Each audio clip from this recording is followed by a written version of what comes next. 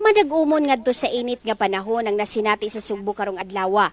Matud sa pag-asa, mas nindot na ang panahon karong simanaha sang lithingpit ng nakagawa sa Philippine Area of Responsibility ang tropical depression nga si Ferdy nga naglihok paingon sa China.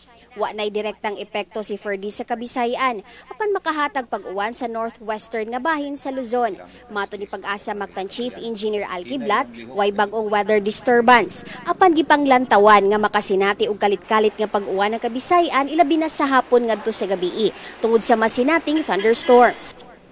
Yes, possible gyud mga baha labi na sa hapon o gabi atong expect ng mga pag-ulan ug sa yung buntag tungod sa localized thunderstorm. Kaya ba naman tangas ang localized thunderstorm, baka mugra ng kalit-kalit ng mga pag-ulan, nya usahay heavy rainfall nga mulungkad og duha ka oras, igo na kana magkababaha o makadahili sa yuta kay ah, most of the days ah, karong August, umiyagi pang mga last two weeks sa July kasi tagulan. Inanay sab nga nikusog ang hanging habagat.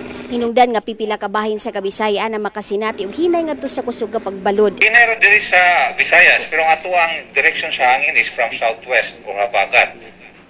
Ah, ang nagkusog-kusog lang diri dapit sa western portion sa Visayas nga i-consider nato siya moderate nga hangin nga ang gikusgon dito pero diri sa rest of Visayas, eastern and central Visayas is li- light to moderate nga mga ah, hangin. Pasidaan sa pag-asa sa publiko nga magpabiling alerto og mag-amping. Ilabi na sa kalit-kalit nga pag-uwan nga posibleng makamugna og pagbaha og pagdahili sa yuta.